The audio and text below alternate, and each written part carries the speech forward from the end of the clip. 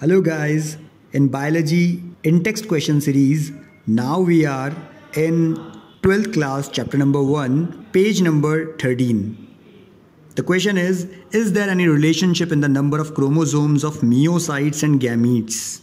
तो हमसे ये पूछ रहे हैं कि क्रोमोसोम्स जो मियोसाइट्स में होते हैं और गैमीट्स में होते हैं क्या इनके बीच में कोई रिलेशनशिप है So the relationship is myocytes are the cells in which meiosis occurs to produce haploid or n number of gametes.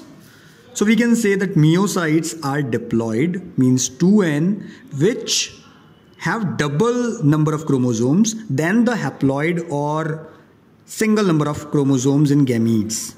तो गैमीट्स में एन नंबर ऑफ़ क्रोमोजोम्स होते हैं, जबकि इनसे double two n number of chromosomes होते हैं myocytes में, उन सेल्स में, जो कि मियोसिस करके, यानी रिडक्शन डिवीज़न करके गैमीट्स प्रोड्यूस करती है। So this is the relationship between the chromosome number in meiocytes and gametes thank you